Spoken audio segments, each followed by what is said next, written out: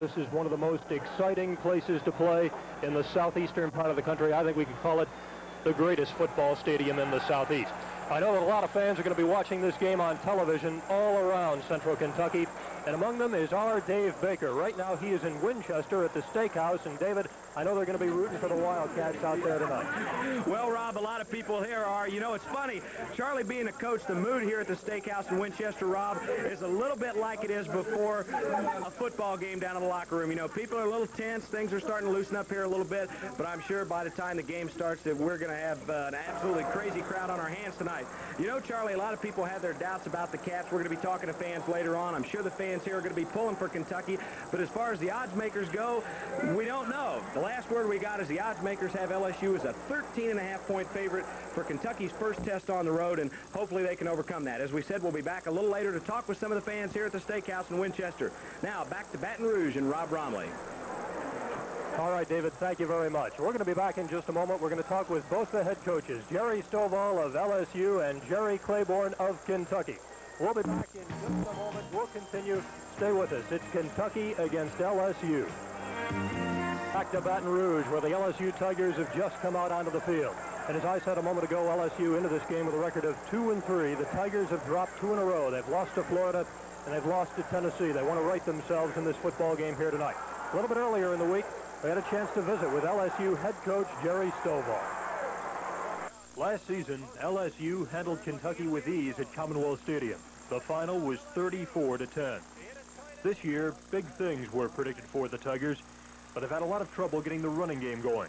And that concerns Coach Jerry Stovall. Well, we've got to be able to go out, in our opinion, run the ball for a couple hundred yards a ball game against everybody, knowing that there are going to be times when some people will go out and shut, shut certain things down. It's Like there are going to be sometimes we've got to throw the ball, they'll take a back or a particular receiver away. We acknowledge that people can do that.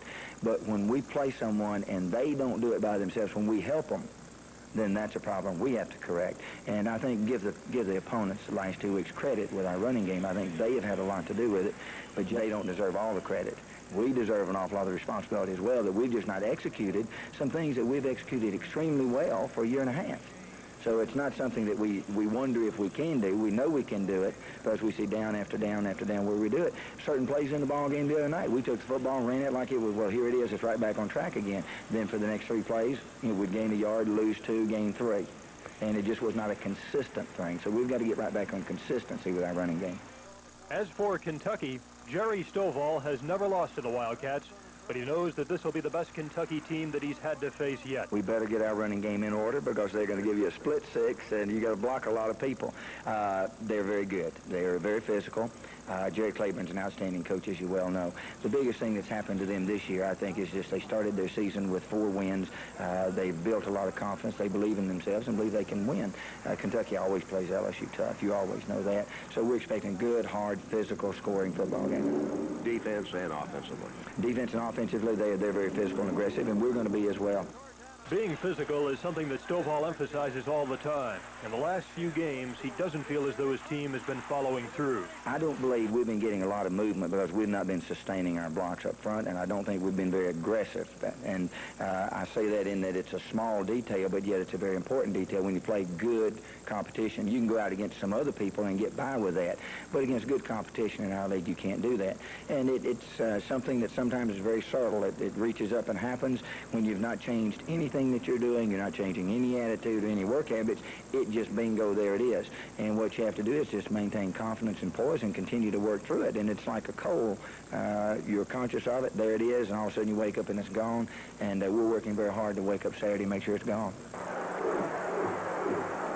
All right, there he is. LSU head coach Jerry Stovall, a very intense man, a very competitive man, but a man who also has a lot of compassion. And in just a few minutes, we're going to see if his Tigers can wake up here at Tiger Stadium tonight. We got a lot more to come your way in a moment. We will hear from Kentucky head coach Jerry Claiborne. Stay with us. We're live in Baton Rouge. It's Kentucky against LSU. Two. These are two big factors that can affect a football team, and Rob Bromley went to discuss these things with Coach Jerry Claiborne. Kentucky had won its first four games, but then the Wildcats ran into Auburn last weekend at Commonwealth Stadium and they found out just how tough it would be in the Southeastern Conference. Auburn won it 49 to 21. Well, we we got back to fundamentals. We've been having tackling practice in, in our fundamental periods, and, and and we're just learning how to again. We're still not a strong fundamental football team. I think we've improved. We definitely have improved over last year, but we're still uh, missing uh, basic tackles and and not freeing a correct flipper and, and things of this nature defensively.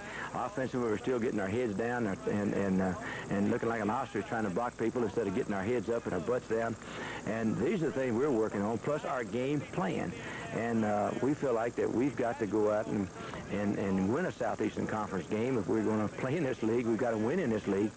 If the Cats are to win at LSU, they must hold down two outstanding tailbacks, Dalton Hilliard and Gary James, and contend with LSU's strong-arm quarterback, Jeff Wickersham. He's completing the ball uh, passes at 60% of his throws, so I don't care whether you're sophomore or senior or what you are. When you're throwing the ball that accurate and hitting your receivers that consistently, uh, you're doing a fine job as a quarterback. And with Hilliard and James uh, in the ball game with them, uh, uh, run as well as they can run, and you got a fine offensive line, and uh, and throwing the ball as well as he's throwing it uh, it, it, makes them tough to defend against. I say uh, not many teams have stopped them. Defensively, LSU is led by nose guard Roland Barbay and linebacker Rydell Malancon. And in the secondary, it's the speed of Jeffrey Dale and Liffort Hobley that concerns Jerry Claiborne. Their secondary is fast. Uh, that's the big thing about them. They're kind of like that Auburn defense. They all can run. The linemen, the, their backs, they all can run.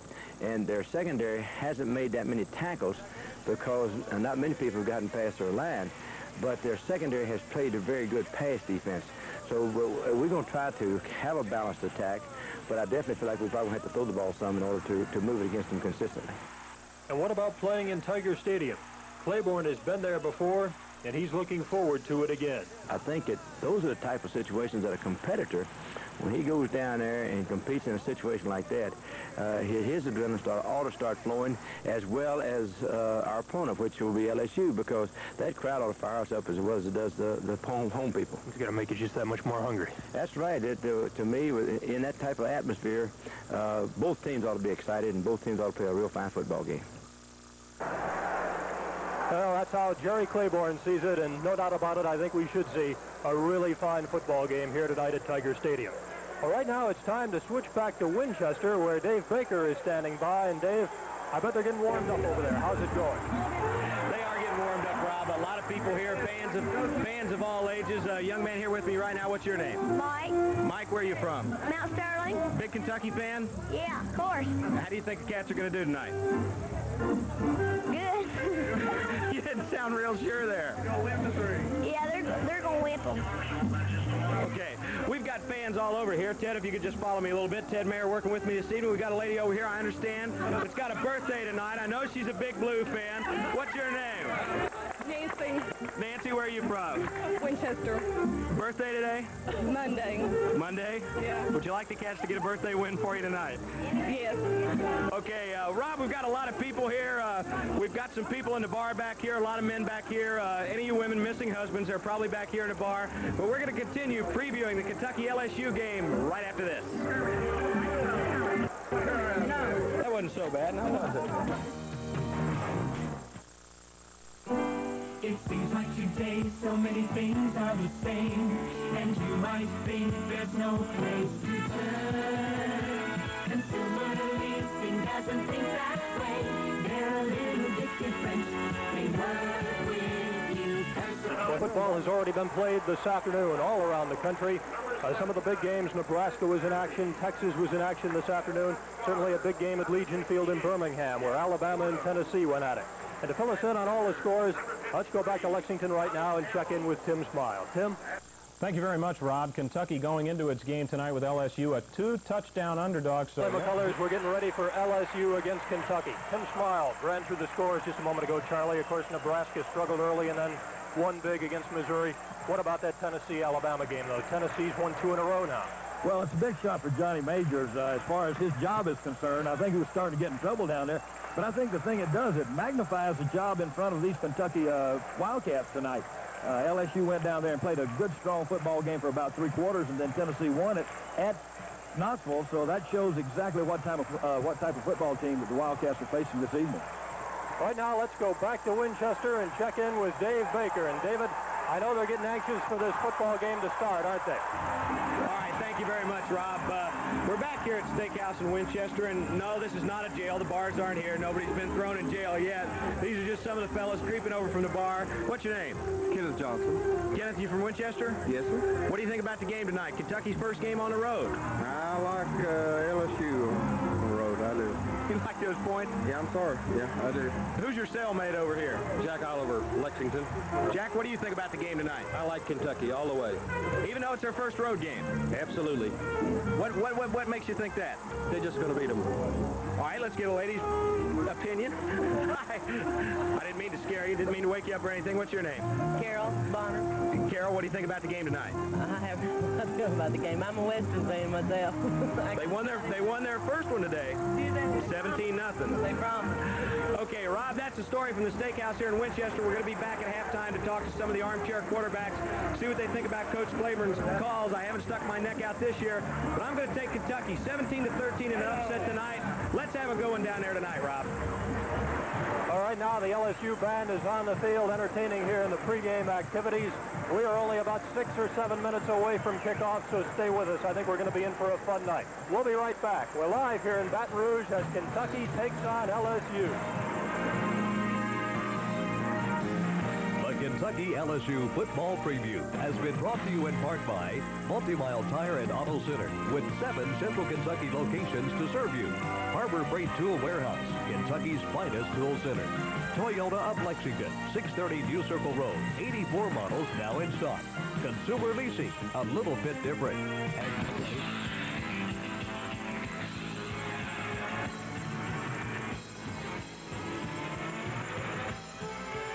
University of Kentucky Wildcat football.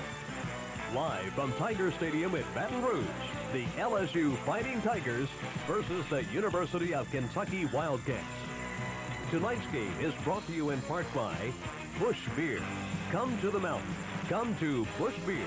Distributed locally by Benny Robinson Company. Conrad Chevrolet, Kentucky's number one Chevy dealer. Valvoline Oil Company. Valvoline, your symbol of protection in automotive products. And the Bank of Lexington, the bank with human interest.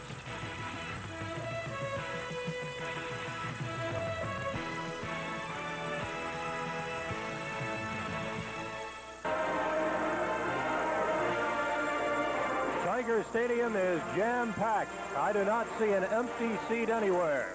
Here in Baton Rouge, it was an absolutely beautiful day until late in the afternoon. It clouded over just a little bit. We had some light sprinkles early this evening, Charlie, but I think the rain is going to hold off. I think it's gone. We're picking up a little breeze uh, right now. It'll be from the right to the left as our television cameras see it. This is just electricity all over the place, Rob. What a just a fantastic place to be a part of, to be a part of a football game. The fans, the whole show in itself. Well, there's the LSU marching band right at the center of the field. They've just concluded their pregame activities, and in just a moment, the captains will go to the center of the field, and at that time, we'll have the toss of the coin. We are live here in Baton Rouge, Louisiana, as Kentucky takes on LSU, and we'll be back with the toss of the coin and then the opening kickoff in just a moment. Stay with us.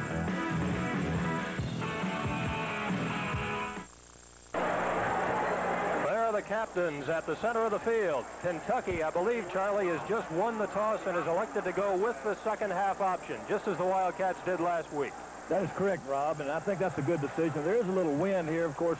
Uh, for some reason, it looks to me as though Kentucky got the win. That's kind of a surprise, but I guess LSU did want to take the football at this time. All right, LSU will get the football first. Kentucky will be kicking off from right to left. The officials for our game tonight, the referee is John Cook, the umpire A.C. Lambert, the linesman is Joe Curtis, the line judge Richard Long, the field judge John Fleming, the back judge is Bobby Skelding, and the clock operator here at Tiger Stadium is Don Shanks. There's the series record, LSU leading it 24-8-1. Jerry Claiborne has yet to beat the Tigers. He lost to them at Commonwealth Stadium in Lexington last year by a count of 34 to 10. And Charlie, the memory of Kentucky's last win over this Tiger team is still very much settled in my mind. It goes back to 1977. The Wildcats won down here 33 to 13 I can still see Art Still blocking that kick, running it back for a touchdown. Dallas Owens intercepting that pass, running it back 80 yards for a touchdown. That was quite a night for Kentucky. Well, I think the names that you mentioned there are synonymous of what will have to happen. Defense has to win in Tiger Stadium. It's very hard for an offensive football team to win here. Your defense has to create turnovers, get your uh, offense good field position, and at that time give them a chance to take it in and quieten this crowd off a little bit. Now going back deep, there is Gary James wearing number 33. He is one of the LSU deep men. Also going back there is number 8, Norman Jefferson. And Chris Caudell has the football teed up at the 40-yard line. We're set to get underway. And we're so happy that you've joined us tonight on Channel 27. End over end kick going back into the end zone and hits out of bounds. Now they rule that it went on into the end, end zone, Charlie, and I believe they'll bring it back out of the 20-yard line, and that's where LSU will put it in play. Well, it crossed the goal line before it went out, and that would make it a touchback right there. And it's a great thing to start off right here. There was no chance for any type of kickoff return, so you've given the LSU Tigers 80 yards of real estate to cover. Now Tommy Campbell will be over the ball at center. The split end is a good one. Eric Martin, Clint Berry there on the offensive line, along with Jeff Fordham, Kevin Langford, Lance Smith, Mitch Andrews, the tight end, the quarterback, the sophomore Jeff Wickersham, Dalton Hilliard, Gene Lang, and Herman Fontenot are the running backs. It is first and 10 Tigers for the 20. Here's the first play of the game. And they hand it off to Dalton Hilliard straight on up the middle. He is tripped up, but he gets about three yards. Well, I think you had to suspect after what Auburn did to this Kentucky defense up the middle last week that they very well would come stringing it up right, right up the middle like that. There's Kentucky's defensive line. Glenn Amerson, number 43 at left guard. Jeff Smith, the left tackle. Stacy Burrell is there. The linebackers, John Grimsley and Kevin McClellan. There's the defensive backfield. Gordon Jackson, Kerry Baird, Paul Calhoun. Second down, seven yards to go for the Tigers. Here is Wickersham to throw. He gets it away to Hilliard. Dalton Hilliard over the 25 and comes up to about the 28-yard line where Scott Schroeder hit him and brought him down. Going to be a couple of yards short of a first down. It'll be third down coming up in short yardage. Third down, about a yard to go. Well, he slipped a little screen pass out on the left side to Dalton Hilliard, and he did an excellent job of running. He had a big wave of blockers. The defense came late, but they did pursue, held him short of the first down. Big play already in this ball game, Rob. Third down and one. LSU from its own 29. Dalton Hilliard. He's got the first down falls forward to about the 31, 32-yard line. Keith Martin was the man who hit him low. Stacy Burrell was also right there. But the gain is to the 32. LSU runs three plays and posts a first down. First and 10 Tigers. Well, Kevin McClellan had a shot at him in the backfield, Rob, and just missed him. He had real, real good penetration. Junius Terrell brought the play in from the bench. First and 10 from the 32-yard line. Wickersham intercepted by Kerry Baird. Baird will bring it back for a touchdown. Kerry Baird runs it back about 30 yards as Jeff Wickersham is intercepted. Well, I tell you what, he made a great move that time, Rob. They had a roll strong coverage.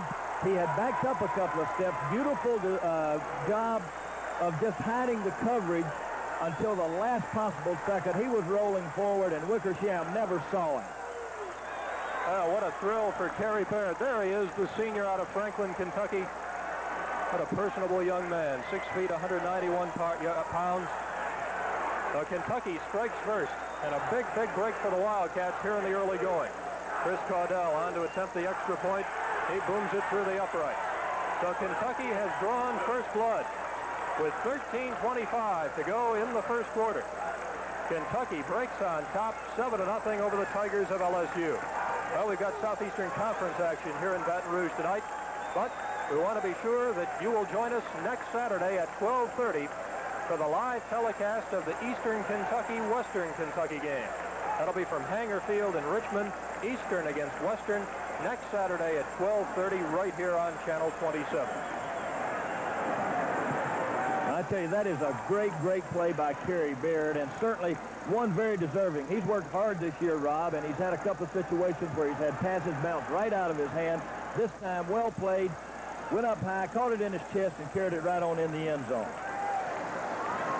Well, it wasn't 80 or 81 yards like Dallas Owens a few years ago, but it's good enough. Good enough for the seven points. It, uh, that's exactly right. It counts the same amount. And I tell you, I told you defense has to win down here. And if they can continue to play like this, they'll keep this crowd quieting down a little bit. All right, for the second time tonight, Chris Caudell has the football teed up at the 40. And he will kick off as Kentucky now holds a 7 to nothing lead.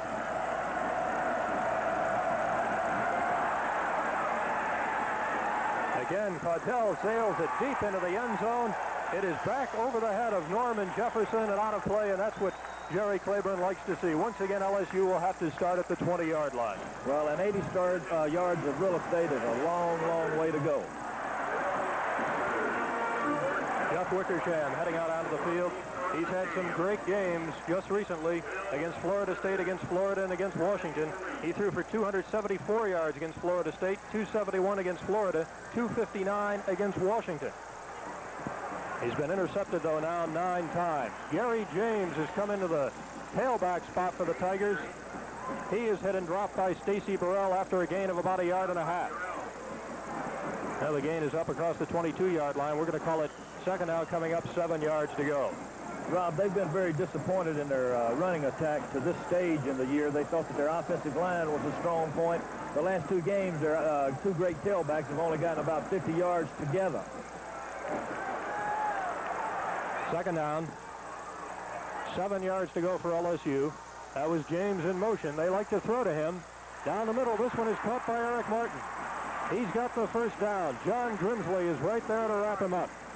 But Eric Martin, the junior out of Van Vleck, Texas, he's the leading receiver on this LSU team and stands third on the LSU career list for yardage and receptions, 1,307 yards. Here it is again. Well, it was a nice little delay. They set uh, Dalton Hilliard up the seam that time to clear the area, move the linebacker, and brought the outside receiver back underneath. Excellent game plan.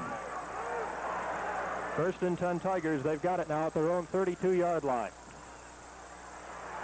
And they hand it off straight up the middle, nowhere to run. Handoff went to number 13. That's Craig Rathjen.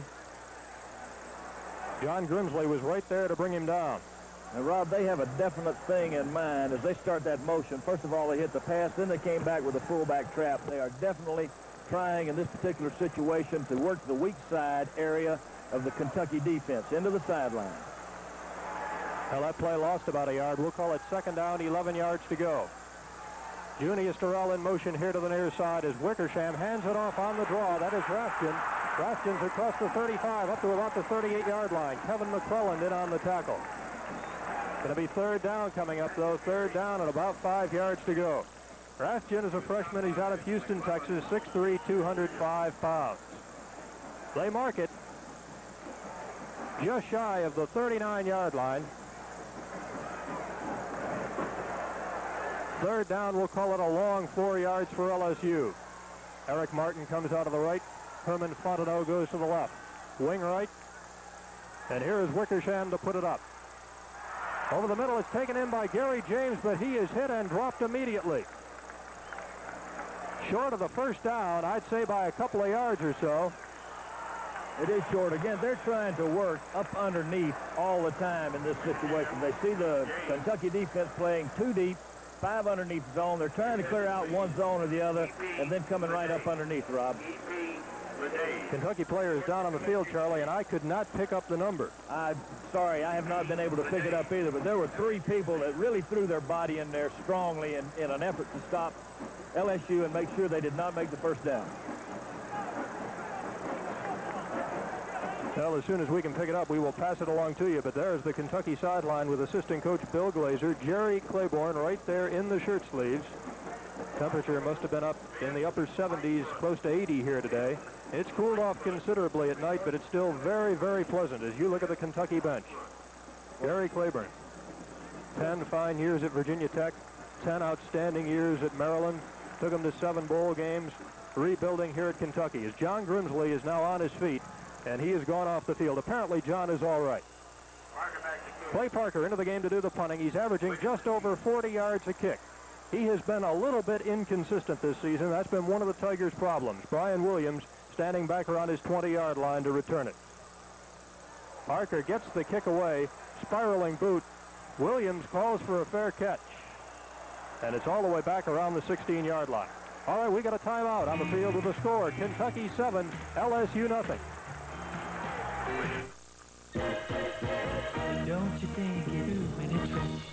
Kentucky on first and 10. The Wildcats moving from their own 16-yard line, and they handed it off to George Adams.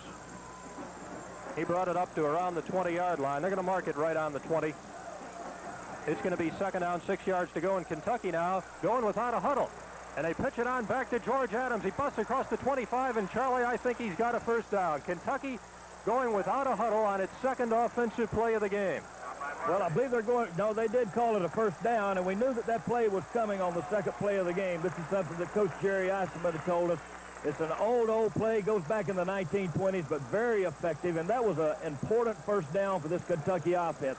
Now they need to take it and just drive it down the field. It's just shy of the 27-yard line. First and 10 for the Wildcats. Shifting in the backfield now. Kirk Cochran, the fullback, the lone man behind Randy Jenkins.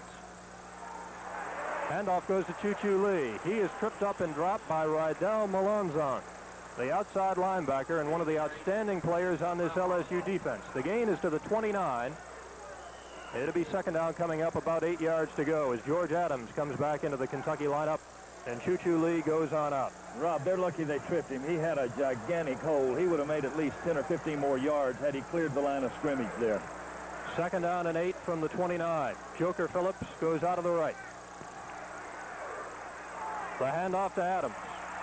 Crawling across the 30-yard line, but he was tripped up by Roland Barbay, the nose guard, number 77, a sophomore out of Chalmette, Louisiana. He's a big guy, 6'4", 250. Well, they had to play where they wanted it outside. He was able to break it outside, but the center did not control the nose man. Uh, with the outstanding nose man that LSU has, they may have to give the center some help. They may have to make some, adjusting, uh, some adjustments in their blocking schemes. Kentucky with third down, six yards to go. Big play for the Wildcats as they work from their own 31 here in the first quarter. Kentucky leading it 7 to nothing. Jenkins to put it up. And it's intercepted. It was intended for Oliver White, but Rydell Malancon, the senior out of Vacherie, Louisiana, comes up with a football. Well, that's two passes thrown, or uh, one each for Kentucky and one each for LSU. It looks like to me the tight end stopped on him. I really can't tell here. He had Oliver White there. Watch him stop. I don't know why he stopped because he was leading him right in the area, and then the interception was made. Well, in case you have just joined us, Kerry Baird intercepted a Jeff Wickersham pass and ran it back for a touchdown a little bit earlier. Now LSU comes up with an interception. That's the fourth time Jenkins has been intercepted this season. Wickersham on first and 10, incomplete. He was trying to get it to Dalton Hilliard, number 21, coming out of the backfield. And Wickersham likes to throw to Hilliard, and he likes to throw to Gary James coming out of the backfield. They do a, a, great job of utilizing their backs, and I think you saw another facet of Jeff Wickersham there that the Kentucky Wildcats have to be very conscious of, and that's his ability to get back in the pocket and then scramble. Coming into this game, Wickersham had completed just over 60%, 79 of 131. Second and 10 from the Kentucky 40. Down the middle, this one is caught by the tight end, Mitch Andrews. Scott Schroeder on the coverage for Kentucky. But the gain is down to the 33-yard line. Going to be about three, three and a half yards short of a first down as you look at LSU's offensive line. And here is Wickersham again, Charlie. Well, just a little tight end delay here. They cleared out with a back, worked the tight end right back underneath him and over the middle in front of the linebacker, Scott Schroeder. The ball spotted at the 33. Third down, three yards to go. LSU in Kentucky territory. And Wickersham right back to the air. This one to Hilliard. He's got the first down. Inside the 25, inside the 20-yard line. Brian Williams was there to bring him down. Russell Hairston also in on the tackle, but the gain is down to the Kentucky 18. It's a first and 10 for LSU. Well, the only way they're going to keep those backs in there is to blitz every now and then. Watch this. They cleared out with the tight end and the fullback on the other side. Brought Gary James back underneath. There, Scott Schroeder got picked off. He's chasing him. And then came Brian Williams to put the stop on. First and 10 LSU from the 18. Hilliard again, busting his way forward down to the 15-yard line. Well, there's no doubt about it, Charlie. Dalton Hilliard is a good one. As a freshman here, he rushed for 901 yards, had five games over 100 yards or more, 16 touchdowns. Early this season, he suffered a bruised shin against Florida State, but apparently now he's back to 100% as Herman Fontenot comes in with the play from the LSU bench. Well, he's certainly an all-SEC performer and, and uh, has a great, great future in front of him here. And he's one of the young men that Kentucky has to shut down tonight to have a chance in this game. It is second down and seven from the 15. Wickersham got it away to Hilliard. He tried to pull it in with one hand. Well, Rob, he was very lucky he dropped that football because Brian Williams and Paul Calhoun both were breathing right down his neck. That pass would have been completed for about a six or seven yard loss.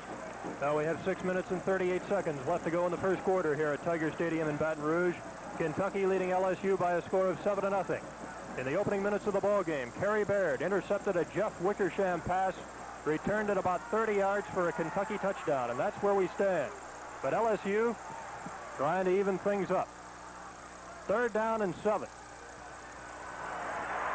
Wickersham under pressure gets it away and now overthrows Mitch Andrews. Junius Durrell, number 82, was cutting across in the end zone. And it'll bring up fourth down. LSU will have to go for the field goal. Well, he had it there. He just missed it, Rob. He had two men open in the end zone, just overthrew him. Jeff Wickersham going to the sidelines, and Juan Carlos Betanzos, a junior who was born in Mexico City, has come onto the field to attempt a field goal. He holds the LSU record 43 straight extra points. He's kicked 14 to 15 extra points thus far this season, six of seven field goals. He's a good one. Kicked a 51-yarder last season against Rice. They spot it down at the 22. It's a 32-yard attempt. He kicks it very, very it. high, and it goes off to the left. Well, that's a big bullet to dodge right there, Rob. Well, how do you like that? There's a timeout on the field with the score. Kentucky 7. Sale going on now.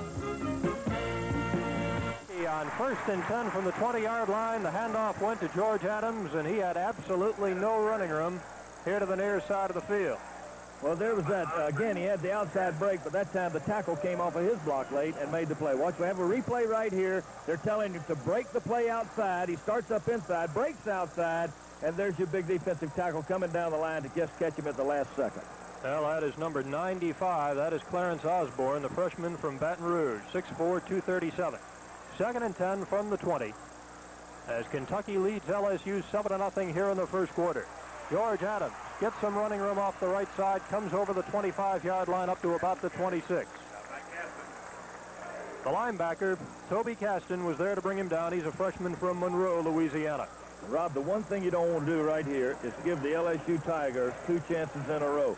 They want to make sure that they do not throw an interception. Chances are they'll run this football or use a safe sprint-out type pass where he can control his own destiny. Good look at George Adams, who starred, of course, at Lafayette High School in Lexington. Now is having a fine career at the University of Kentucky. Third down play, third down and three yards to go. Adams trying to make it up to the 30-yard line, and I do not believe he got there.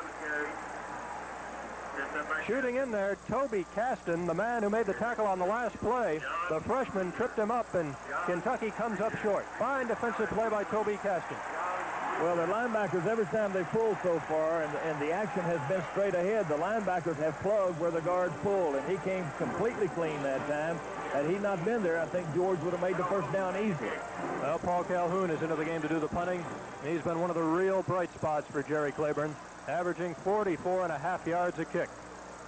Back to return it, number eight, Norman Jefferson. And right now, he's signaling for a fair catch. Sure, it almost got by him, but he pulled it in at the 27-yard line. So LSU will take over first and 10 at its own 27 as we have four minutes and 23 uh, seconds. Don't be surprised if LSU comes back and tries to block the next punt. They had a lot of penetration on that last one. Gary James is in at the tailback spot, and he gets the handoff, breaking a tackle to the outside. That was Stacy Burrell who finally knocked him down. But Gary James giving it a good effort as he comes up to about the 33-yard line or so. You might remember last season at Commonwealth Stadium, James wore 23, but now 33 is opened up, and that's the number he wants to put on his back. He's another great tailback. Well, he certainly showed it on that play. That was an inside play design-wise. He bounced it all the way and made a sweep out of it. Here he comes again. And the handoff to James. Fighting his way forward, he should have enough for the first down. Let's wait and see where they mark it. First and 10 LSU as John Grimsley made the tackle for Kentucky. Gary James is averaging 4.1 a carry. Dalton Hilliard 4.7. I think the real problem for this LSU offense, Charlie, has been on that offensive line. Well, they have had problems there. They've had some injuries and have not performed as they were expected. They should be averaging about 250 or 60 yards rushing each game instead of 125 or so. First and 10 from the 37. And they hand it off to Rathjen on the draw, straight on up the middle. He takes it across the 40, gets good yardage up to the 43-yard line. Big gain of about five yards. It'll be second down coming up as Jeff Wickersham gets the play from the sidelines. They mark it between the 43 and 44 yard lines. Second down, we'll call it five yards to go. Double wide receivers now for LSU out of the left. And they hand it off to Dalton Hilliard. And Hilliard spins forward. He should have enough for the first down. John Grimsley was in there on the tackle along with Kevin McClellan.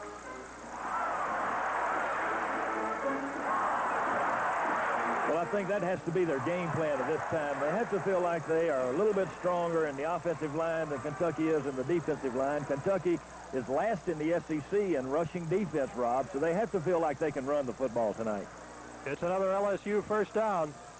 First and 10 Tigers. They've got it at their own 48. Kentucky leading in the football game 7 to nothing. Wickersham throwing to Hilliard. Grimsley and Burrell, they're on the coverage. But the gain is across the Kentucky 45-yard line. Going to be a little bit short of a first down. Let's take a look at it, Charlie. Well, they're just working this, these good running backs. Now they're pass receivers. They're just working them one-on-one. That was John Grimsley trying to cover him. And then Stacy Burrell comes back in and helps him out. They really utilize their tailbacks in their offense, uh, catching the ball and running. Gain of seven. It is second down and three. And here is Hilliard. And John Grimsley is the man who meets him head on. Out by Grimsley. Gain of about a yard. Well, what can you say about John Grimsley? He's been Kentucky's leading tackler the last two seasons. And for the third season, well, watch he is Kentucky's leading tackler. Watch him just really nail him to the wall right here. Whap, knocks him back. That's, that's two things. That's being embarrassed because he let him catch the ball on the pass play before. And the other thing is a lot of weightlifting. He has that strength that he can hit people and turn them around now. It's just shy of the 42. Third down, a yard to go for LSU as Fontenot goes in motion. Wickersham's going to put it up. And Gene Lang was wide open. And he will never forgive himself for that one. On third down and short yardage, Wickersham trying to hit his fullback, Gene Lang, the senior from Pass Christian, Mississippi. And Charlie, just dropped it. He just tried to run with it. He was so wide open, he tried to run with it before he caught it. Watch this. Good play action fake. He's got a man going deep, and two of the Kentucky defenders went with him. Wickersham lays the ball right in. Lang drops it, and he very well could have scored. It would have taken a good tackle down around the 15-yard line. Clay Parker now, the barefooted punter, kicks this one high in the air. Brian Williams is back there, but he won't have a chance to return it. This is a good kick. Yes, it is. Out on the 10-yard line. Ball rolled just across the 10. Now they're going to mark it right at the 10-yard line. Fine punt by Clay Parker. At their own 10. But of course, Kentucky has the interception return by Kerry Baird and leads in this game 7-0 with just over a minute to go in the first quarter. And here's Randy Jenkins changing the play at the line of scrimmage. Choo Choo Lee gets the handoff, and he has nowhere to go.